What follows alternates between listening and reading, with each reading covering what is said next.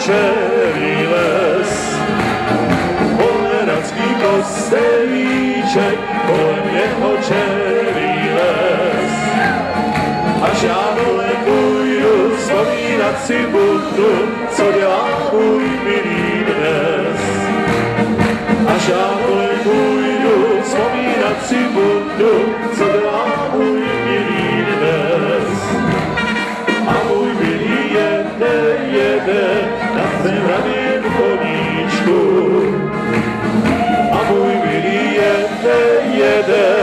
na svém raném koníčku. Vesele si zpívá a přitom připíná na levý bok šabličku. Vesele si zpívá a přitom připíná na levý bok šabličku.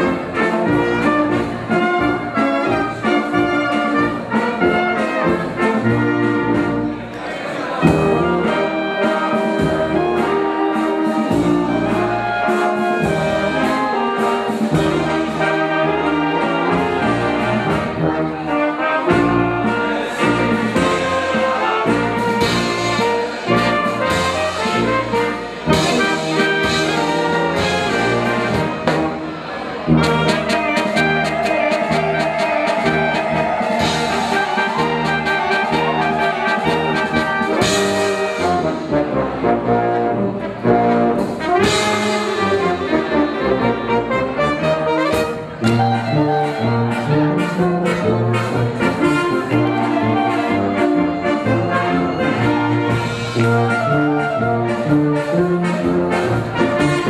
you.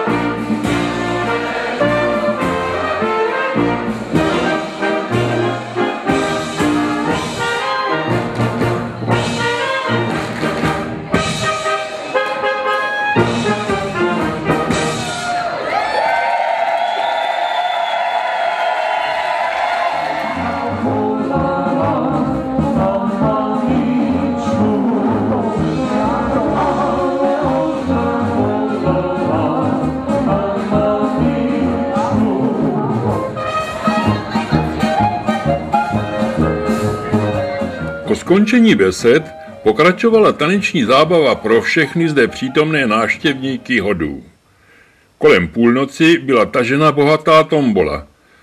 Byla bohatá díky mnoha štědrým sponzorům. Jistě vědí, že dostali by se do takové nouze, že by jim bylo třeba hasičů, tak kuřimští by přijeli určitě jako první.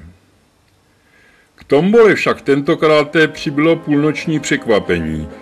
To jsme zde již nebyli, a tak jen slovem můžeme pochválit paní Patricii Sísovou a její tanečníky za velmi příjemný dojem, který vyvolali v přítomných svým půlnočním vystoupením.